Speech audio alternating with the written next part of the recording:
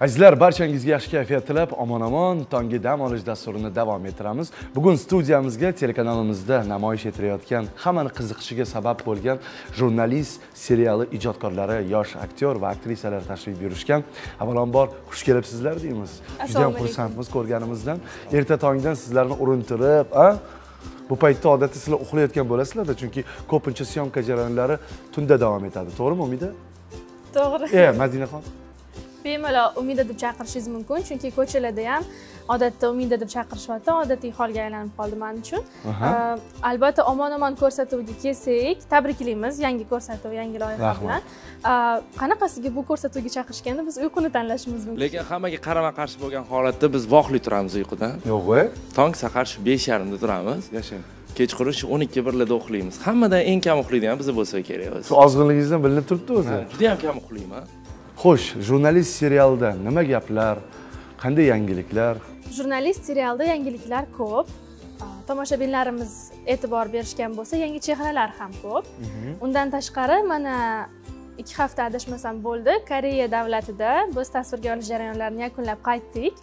Uh, albatta u yerda qiyinchiliklari bo'ldi yaxshi taraflari bo'ldi. Jurnalist serial jamoasi bilan birgalikda biz sayohat sabab janubiy koreyani ko'rib keldik. U yerni xalqi bilan tanishishga muvaffaq bo'ldik.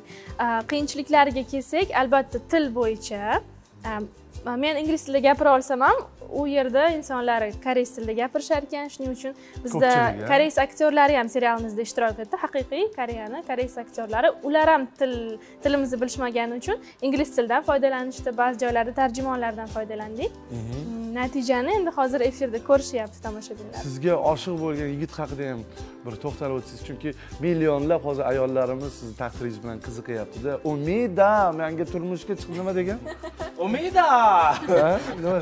aytib bering shuni. Albatta e, muzikant bo'lganim uchunmi bilmayman o'sha internet tiliga juda ham ahamiyat qilaman. Umida deyilganda Ha, ha. o'shanisi bilan odam esida qolib ketadi. Lekin bu ko'rasiz hali kino shunaqa rivojlanadi bu serial. Man tushunmay qoldim umidani bolasini olib o'sha mashinaga o'tirishingiz. O'zim ham tushunolmayapman, o'zi voqea nima bo'ladi? Uyog'i sir uyog'i Uyog'i sir, uyog'i sir. qiziqib ketyapman ochig'i o'zi man ham o'zim qiziqib ketyapman hozir Ha, Hattoki- nima bo'ladi deb? ha u o'zimizga ham shu darajada qasam ichdim qasam ichdim deydi bu Ha.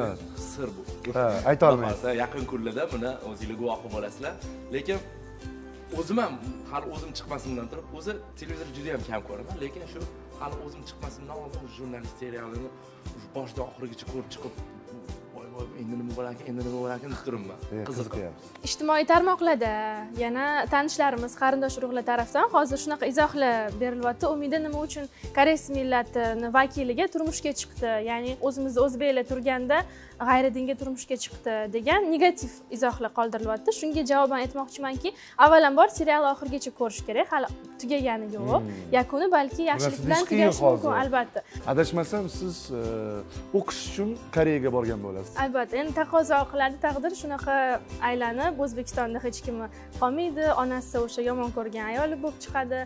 Shuning uchun mm, hech kimi qolmaganidan alamdan rozilik beradi majburlikdan. Va o'sha boshiga qiyinchiliklar tushadi. Ushbu serialda endi tan olish kerak. Sherzod obrazi ham ko'pchilikni e'tiborini oldi ko'pchilikni e'tiborini qozondi.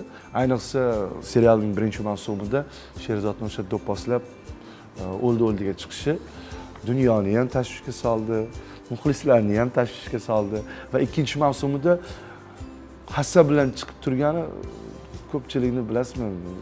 Rahmini keltirdida abdurasul rolingiz o'ziga yoqyaptimi? Ha yoqadi o'zimga. Manimcha xalqimizga ham yoqayapti degan umiddaman. Kino davomida xudo xohlasa yaxshi joylar yaxshi qiziqarli voqealar ko'p hali. Bilasizmi serialda sizni taqdiringiz umuman boshqa tomonga burilib ketdida. Mana sevgan yoringizdan ayrildingiz salomatlikka putur yetdi. Mana serialdagi yangi qiyofa farangizxon ya'ni yulduz obrazi bilan taqdir tutashadimi yoki yo'qmi siz bilan? Endi bu sir aytolmaymiz hamma narsa sir ekanda o'zi. Kino davomida bilishadi. Endi baribir ozgina ochish kerakda. Biz ham bilaylik endi. Endi sirligi bilan yaxshi manimcha odamlarga qiziqarli bo'ladi yulduzxonni fikri qanday? Ya'ni yulduz obrazini farangiz baribir bu jamoaga siz yangisiz to'g'risi? Ikkinchi faslda qo'shildim jurnalist serialiga. Judayam bir qiynalgan e, oddiy oiladan chiqqan kam ta'minlangan bir farzandi bor qiz farzandi bor. Rolni ijro etyapman endi e, bu kinoda hozir mani saytimda ham juda yam ko'p yozishadi. Nimaga siz ayirib yubordingiz dunyo bilan sherzodni? Endi buni oxirini oldin ko'rish kerak. A siz ayirib olasizmi? Endi man kirib keldim. Qanaqadir sherzodni Oh. e'tiborlari manga burilib ketib qoldi. Lekin endi bu serialni oldin e, oxirigacha tomosha qilish kerak. Manga hozir yozishayotgan nimaga farzandli ayol shunaqa uylanmagan yigitga turmushga chiqadimi yoki boshqa avvalambor e, hamma qizlarni ham baxtli bo'lishga haqqi bor. E, turmushga chiqqan yoki ajrashgan yoki farzandi bor. Endi hammani hayoti har xil taqdir har xil e, burilishlarga ega. Buni hech kim biza xalq bu bizani qo'limizda emas. Shuning uchun shu ko'pchilik yozayotganlarga ham aytib o'tmoqchimanki har bitta qiz har bitta inson e, o'zini baxtini topishga baxtli bo'lishga haqli.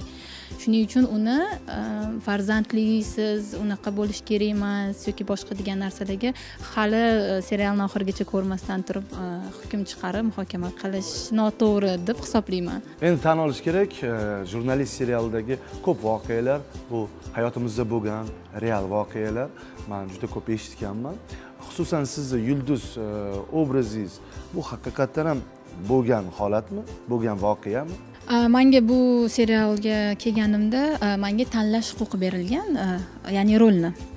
Man shu mana shu holatlarni voqealarni eshitganimda aynan shu rolni o'zim tanlaganman va bu man ijro etayotgan rolimni bu haqiqatdan bo'lgan voqea bo'lgani uchun ham tanlaganman. Man shu qiz bilan shu hayotni boshidan kechirib o'tgan ayol bilan borib ko'rishganman. Ular menga bu narsani aytib berganlarida to'g'risini aytsam ehm, g'alati e, judayam bir achinarli va mm, nima desa bo'ladi yuragimdan qanaqadir o'ynagim kelganda o'sha ayolni o'sha qizni rol hayotini o'ynab bergim kelgan va e, shuni ko'rsatib berishga o'zimdan chiqarib berishga harakat qilyapman hozir. И shu hayotda bunaqa narsalar bo'lmaydi.